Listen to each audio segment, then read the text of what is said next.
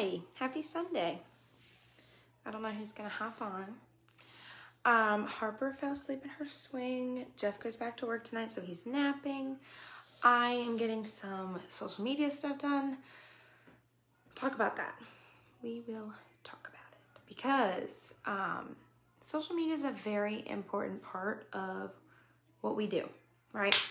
So we need to learn and we need to be willing to learn about social media and how to be successful on it. And you need to strive to be successful at social media because I hate social media. I'm gonna be honest, like I don't like having to always post to my stories. Well, not have to, but I don't like always having to try to remember to take pictures. And I don't like always trying to come up with content. Like I'm not great at it, um, but it's important. Whoever's watching, say hi because I don't like talking to myself. But I've had to learn. I've had to learn to be consistent, right, on social media. Um, why? Because that is how we run most of our business, right? We either have parties, we have our stories, we make posts, we have our profile pictures, all these different things that are helping drive our business. We have the team pages, VIP pages. And what are we doing to be successful on those pages, right? What are we doing? You may think you have it all figured out, but none of us are social media influencers. We're all still learning. I am nowhere close. I am not the best at social media but I want to give y'all some tips so that you can start to be successful. Okay. First tip be on your stories every single day. Don't care what you're doing. If you're staying at home being lazy, put that on your story. If you're working on Scentsy, put that on your story. If you are making samples, put it on your story. Out to eat, put it on your story. Whatever you're doing, put that on your story and share it. Look at people that you look up to in this business for influence for ideas. That's what I do. Um, I'm not as inconsistent with my stories anymore. I'm very consistent with like, oh, here's what I'm doing. Here's what I'm working on. Oh my gosh, this is cute. Blah, blah, blah.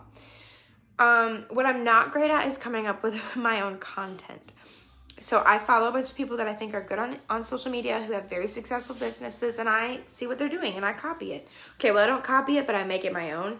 Um, but the idea drives from what they're doing. So that's my other tip. Follow successful people. Um, my reels are not my own ideas, maybe the words or what I'm talking about, but I'm taking those ideas from reels that I've watched. I will sit um, for 20, 30 minutes and I will just watch reels on Instagram. And a lot of my reels now are business related, mom related, family related. So I'm watching these reels and I'm like, oh my gosh, I can make that. I have a kid, right? Um, I have a husband who can hold the camera. So I will watch those reels and save them so that I can go back later and rewatch them so that I can then make it, right? So if you're watching my Instagram, my reels, they're mine and they're getting views, but they're not my idea, okay? They might be my idea with the words, um, or like the one that's like, dun, dun, dun, like that one. I just made that one, but most people are doing it on like, what's normal in a married person's house or a new mom. I did mine with Scentsy, like what's normal as a Scentsy consultant. Um, so being creative in those aspects is really going to help you with that. Um, reading blogs, which I'm not really good at, but there's a lot of there's a lot of stuff out there. You also want to be really um, intentional with when and what you post. Okay, you want to be posting at busy times so like Saturdays at like five or six at night is a really good time. Sunday evenings, you want to be posting like during the week, either in the mornings or in the evenings. You don't want to post more than once or twice a day. Um, you want to space things out. So like I have a lot of reels right now that I've done last week because I didn't have any pictures. So now I'm going to try to post for two or three days pictures and then I'll post a reel and then I'll post pictures and then I'll post a reel. So um, just being consistent. Some other things that are really little, use the same filter um, on your pictures. So get Lightroom, it's completely free. Find, um, you can buy like um, filters or what is it called? Um, can't remember. Girls! Um, but you can get like custom like filters, I guess, for your photos. Like you take the photo, you upload that to Lightroom, and then you can put it over that. Google how to do it because I don't really know. My friend's a photographer, so she did it for me. Um, but like if you look at all my pictures, they're consistently like the same vibe, I guess, like the colors, the tint, all of that. So think of that. Um, that's another way to be very consistent. and being real, like being raw. I am never dressed or put makeup on or do my hair.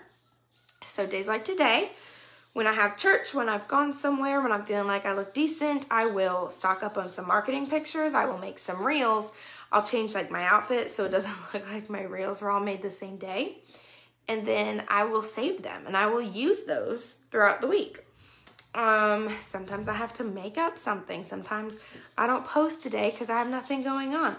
But just being consistent, okay? So you want to have at least three regular posts a week and two reels if you guys are really trying to get social media.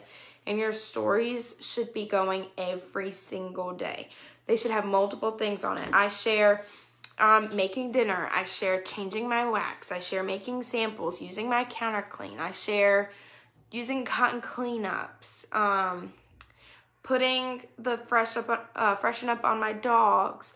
So think of ways like that that you can things you're already doing, and just take a video of it on your story. You don't even have to save it. Just put it up there. Be like, oh my gosh, my dogs stink.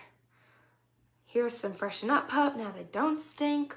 I showed my disgusting counters the other day, and I was like, yo, my my counters are disgusting. I put no filter on it so people could see, and then I showed my counter clean afterwards, right? So being consistent, being really consistent in what you're doing is really important.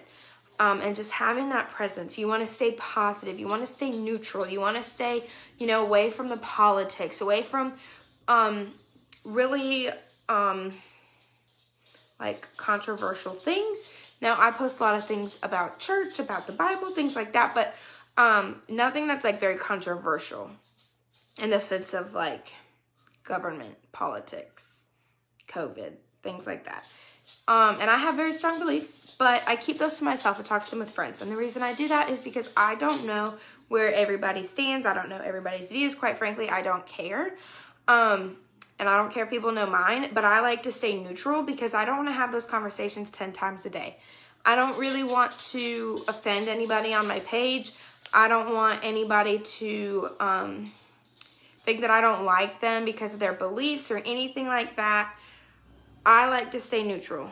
Your social media is your social media, but staying positive and full of Scentsy and life and your families and what you're doing and hobbies is going to be a lot more productive um, and get a lot more positive engagement than constantly being negative or constantly sharing things that are controversial and making a lot of um, anger and things arise like that. So, those are just some social media tips. I hope they're helpful definitely you don't need to be dressed every day to go on. Like when I'm on my stories, I just I just use a filter and I'm like, y'all, real life, I got Harper, she's dressed, I'm not. I mean, I'm home with a baby. I don't I don't need to have on nice clothes and makeup and my hair done. Um but later on this evening, there's a post that will be posted that has the reels I made on it.